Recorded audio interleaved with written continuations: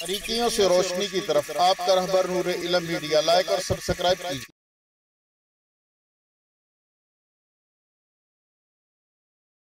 कि वो अपनी बीवी के साथ हेल्प करता है घर में। तो इस किस्म की बातें जो हैं वो लाइलमी की वजह से होती हैं। नबी सल्लल्लाहु अलैहि वसल्लम की हयात तय्यबा में तमाम पहलू हमें मिलते हैं। देखें, सबसे पहली नबी सल्लल्लाहु अलैहि वसल्लम की जोजा मुहतरमा, सैयदा खदीजतुल कुबरा रज़ी अल्लाह तहा मुसलमानों की पहली वालदा माजिदा। सैयदा खदीजतुल कुबरा रज़ी अल्लाह तला थी। सैयदा खदीजतुल कुबरा रज़ी अल्लाह तला के विसाल पुरमलाल के बाद एक मरतबा, उनकी बहन बीवी हाला, हजूर अकरम सल्लल्लाहु अलैहि वसल्लम से मिलने के लिए तशरीफ़ लाई। उनकी आवाज़ सुनकर बेताब हो गए और फरमाया, हाला। यानी कि उनकी आवाज़ हज़रत खदीजतुल कुबरा रज़ी अल्लाह से मिलती थी। नबी सल्लल्लाहु अलैहि वसल्लम आप दीदा हो गए। सैयदा आयशा सिद्दीका रज़ी अल्लाह तला ने फरमाया कि मेरे महबूब, मेरे प्यारे रसूल आप अभी तक उस बूढ़ी खदीजा को याद करके रोते हैं। आप अभी तक जो हैं, उस बूढ़ी खदीजा को याद करके रोते हैं। सुबहान अल्लाह नबी रहमत सल्लल्लाहु अलैहि वसल्लम ने क्या अजीब जवाब दिया। फरमाया, आयशा, मैं उस खदीजा को कैसे भूल सकता हूँ? उसने उस वक्त कलमा पढ़ा था कि जब किसी ने कलमा नहीं पढ़ा था। उसने उस वक्त दीन की खिदमत की, जब किसी ने दीन की खिदमत नहीं की।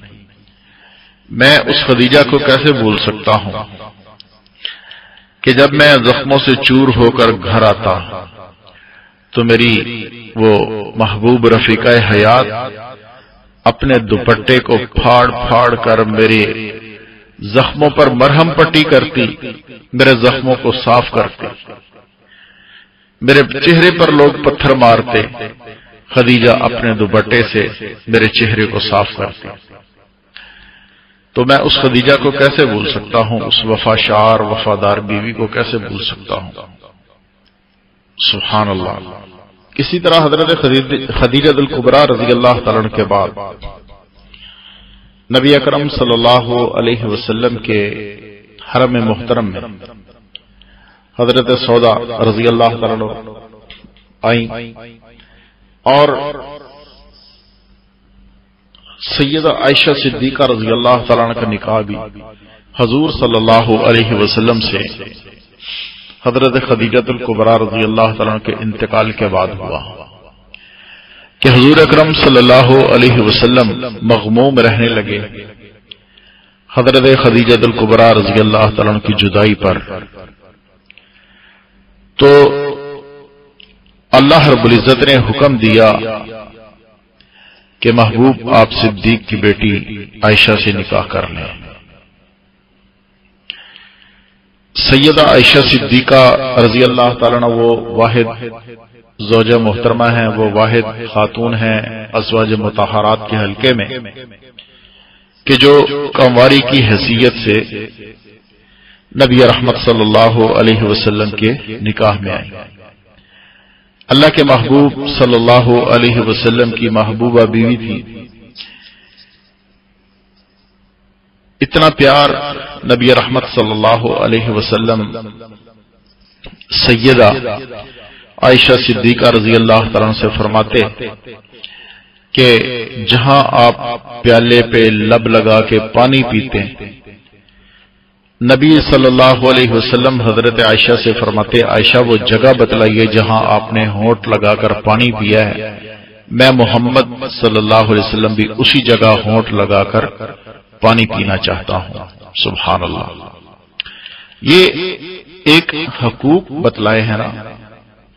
अपनी बीवियों के साथ किस तरह मुआशरत इख्तियार करना है, किस तरह उनसे रहना है। इसी तरह सैयदा उम हबीबा रज़ी अल्लाह तला ये हज़रत अबू सुफियान की बेटी हैं। एक मरतबा आप सल्लल्लाहु अलैहि वसल्लम ने सैयदा उम्मे हबीबा को उनके भाई हज़रत मुआविया रज़ी अल्लाह तआला से मोहब्बत भरी गुफ्तगू करते हुए देखा तो फरमाया कि क्या तुम्हें मुआविया प्यारे लगते हैं?